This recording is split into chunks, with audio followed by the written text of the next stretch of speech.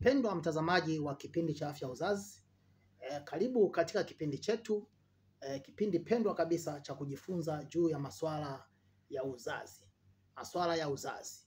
Mimi ni ndugu Alex Nyaruchali, mbobezi wa masuala ya uzazi kutoka Chuo Kikuu cha Afya e, na Sayansi Shirikishi Muhimbili.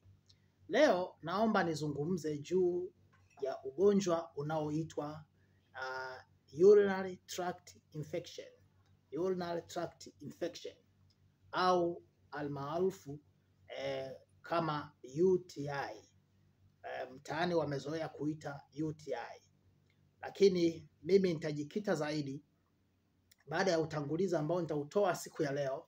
Awamu nyingine nitajikita zaidi juu ya ugonjwa wa uh, UTI kwa wajawazito, ugonjwa wa UTI kwa wajawazito na madhara ambayo yanasababishwa na ugonjwa wa UTI kwa wajawazito, na hatimaye tuta, tutaangalia ni namna gani tunavyoweza kutibu ili akina mama wasipate madhara ambayo yanaweza kuwa- kuwasababishia e, matatizo makubwa sana kipindi cha ujauzito. Karibu sana, usisite kunifuatilia kupitia e, akaunti yangu ya uh, YouTube ambayo ni Women Health Online TV, Women Health Online TV. Lakini pia endapo utakuwa na tatizo lolote, usisite kunipigia kwa namba yangu ya simu, namba yangu ya simu ya sifuri sita tano mbili saba kumi moja moja sifuri. Sasa hebu tujifunze sasa, maana akina mama e, wamekuwa wananitafuta sana, wananipigia simu wa, wakinieleza jinsi wanavyojisikia na hatimaye nimekuwa nikiwaambia basi huo ni ugonjwa wa UTI wa, wa, wa, wafanye nini ili waweze kuepukana eh, na, na, na, na adha ambao wanakutana nayo kipindi hicho cha ujauzito.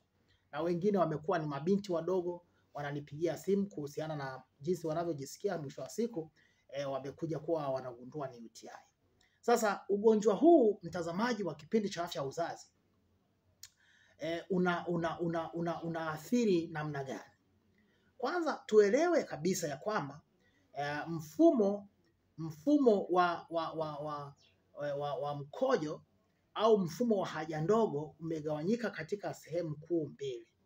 Umegawanyika katika sehemu kuu mbili, ya kwanza ikiwa ni, ni, ni, ni, ni viungo eh, vya juu viungo vya juu eh, kwa maana ya upper parts ya eh, urinary tract eh, system na na, na, na, na mfumo mwingine ni mfumo wa, wa, wa viungo vya chini kwa maana ya lower part, lower parts of the urinary tract eh, system.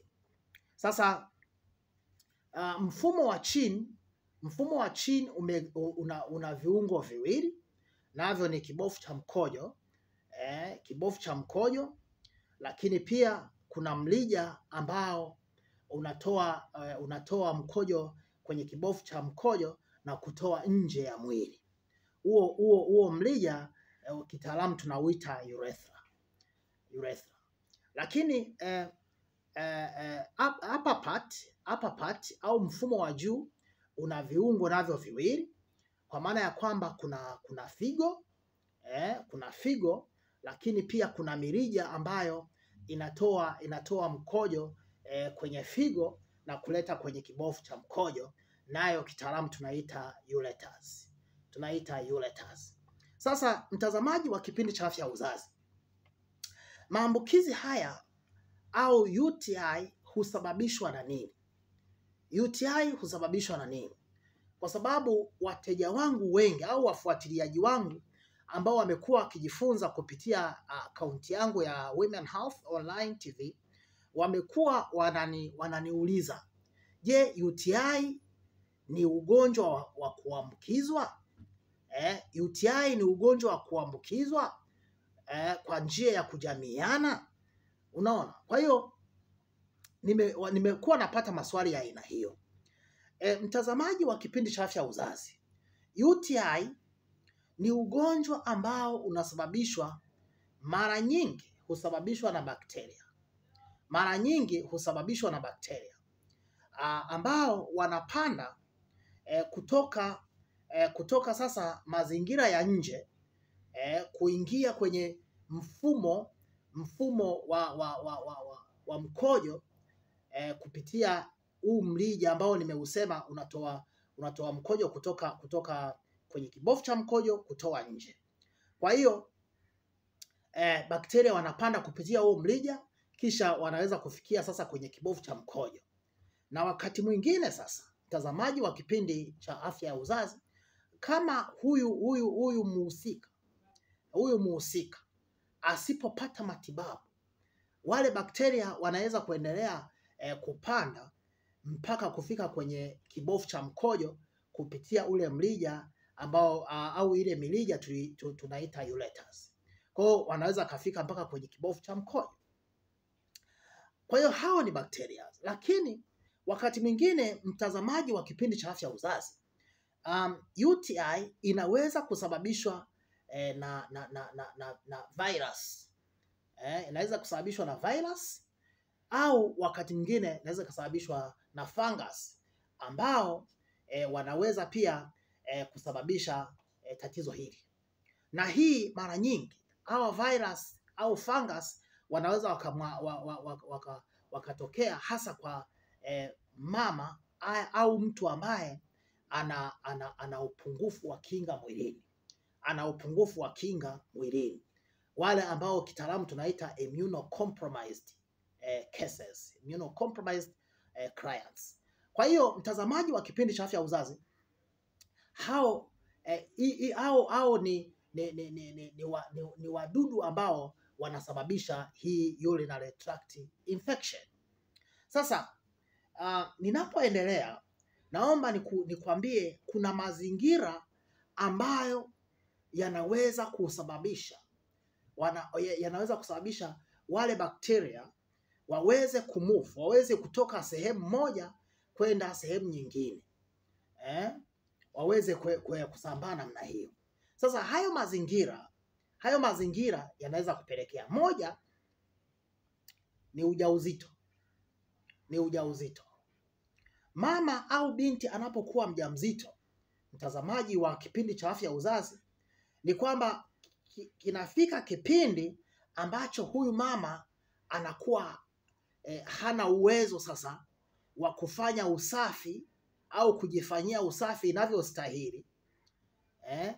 Kwa hiyo mwisho wa siku eh, kwenye kwenye sehemu zake za sehemu zake za, za uke kunakuwa usafi sio wa kuridhisha, unakuwa usafi sio wa kuridhisha. Kwa mfano, mimba inapokuwa imefika labda kipindi cha kuanzia miezi saba, nane, tisa, mtazamaji, huyu mama ana, anakuwa sasa eh, hana hana uwezo wa kujali usafi mwenyewe hasa maeneo ya ya ya ya, ya, ya sehemu za, za siri eh, hasa maeneo ya sehemu za siri. Kwa hiyo hii inaweza ikampelekea eh, hii ndio inayosababisha akina mama wengi, na tafiti zinaonyesha zaidi ya asilimia tatu eh, akina mama wajawazito wanalazwa hospitalini kwa sababu ya matatizo ya UTI. Zaidi ya asilimia tatu wanalazwa kwa sababu ya matatizo ya UTI. Kwa hiyo wanapopimwa sasa, wanapopimwa na kuhudumiwa na wataalamu, wanagundulika sasa ni, ni wana UTI eh, kipindi hiki cha ujauzito, na hii inanipelekea sasa awamu nyingine nije nifundishe au nije ni, ni, nielekeze juu ya namna ya kupambana na UTI eh, kwa wajawazito, namna ya kupambana na UTI kipindi cha ujauzito. Kwa hiyo hiyo hiyo ni, ni hiyo hilo ni eneo mojawapo ambalo linapelekea akina mama kupata UTI. Lakini jambo lingine, mtazamaji wa kipindi cha afya ya uzazi, jambo lingine ni kutokujali kanuni za usafi wakati wa, wa, wa, wa, wa, wa, wa haja mama amemaliza eh, ku, ku, kujisaidia haja kubwa eh? Mama amemaliza eh, hili swala la haja kubwa. Kwa hiyo kuna wamama wengine hawajali kanuni za usafi. Mwingine wakati ana, anajisafisha anajisafisha kuelekea mbele, ananawa na maji alafu anajisafisha ku, kuja upande wa mbele. Sasa anapokuja upande wa mbele ni kwamba ana, anatoa anatoa kinyesi au anatoa uchafu kutoka sehemu ya haja kubwa kuleta sehemu ya uke. Unaona, Anaku, analeta sehemu ya uke. Kwa hiyo mwisho wa siku anaweza akajikuta anatoa bakteria wa kutoka kule sehemu za haja kubwa kuwaleta sehemu za haja ndogo. Kwa hiyo hawa bakteria ni wale ambao kitaalamu tunawaita Escherichia coli. Hmm? E. coli kitaalamu. Kwa hiyo hawa ni, ni, ni, ni, ni visababishi vikubwa vya UTI kwa kina mama. Ni visababishi vikubwa vya UTI kwa kina mama. E. coli anatoka sehemu ya haja, haja kubwa anasogea mpaka sehemu ya haja ndogo. Kwa hiyo mwisho wa siku, kwa sababu anakuwa ametoka sehemu ambayo e, sio e, e, anatoka sehemu ambapo anaishi au anakaa. Mtazamaji wa kipindi cha, cha afya ya uzazi, hawa tunawaita normal flora. Kwa hiyo kule kwenye haja kubwa ni normal flora, ndio wa mahala ambapo e, Mungu amewaumba au amewaumbia kwamba waweze kuishi. Sasa wanapotoka ile sehemu ambapo ni normal kwa kwa huyu huyu mama, wakaja sehemu ambapo sio normal, mwisho wa siku wanamsababishia sasa huu ugonjwa unaitwa UTI, na asilimia kubwa eh, ndio wanaosababisha UTI. Lakini mtazamaji wa kipindi hiki eh, mazingira mengine au sababu nyingine inayosababisha au inayopelekea akina mama kupata UTI ni mazingira machafu ya vyoo wanavyovitumia, mazingira machafu ya vyoo wanavyovitumia. Sasa vyoo, kwa mfano vyoo vya, vya ambavyo vinatumiwa na watu wengi, kwa mfano vyoo vya kwenye soko. Eh, vyoo ambavyo vinatoa huduma eh, sokoni. Au mazingira labda ya shuleni. Eh, au mazingira labda eh, wenzangu mimi ambao wanakaa kwenye nyumba za kupanga. Unaona, kwa hiyo wanapokuwa wanashare vile vyoo eh, wanajikuta sasa yule ambaye ana UTI aki, akiachia aki e, mkojo wake pale e, kama hajasafisha na mwingine ambaye hana UTI akatoka akaja kujisaidia e, maeneo yale, kama hajasafisha automatically atajikuta atajikuta sasa anapata ana, ana, ana, ana, anapata UTI huyu mama ambaye alikuwa haina UTI. Kwa hiyo mtazamaji wa kipindi cha afya ya uzazi na, ninaomba nikujulishe tu ya kwamba um, wamama wanapata athari sana e, za kupata UTI kuliko akina akina baba.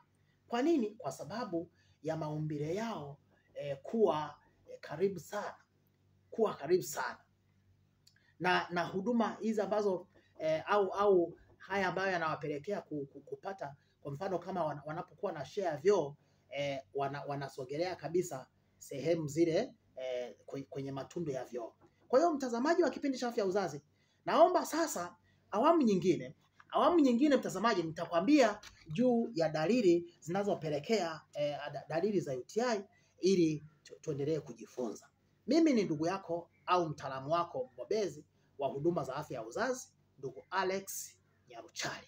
Usisite kuni, kunifuatilia kwenye akaunti yangu ya Women Health Online TV na pia unaweza kusubscribe, lakini uka, ukaweza pia kuwas, eh, kuwapelekea eh, eh, masomo haya watu wengine ili waweze kujifunza. Karibu sana, karibu sana.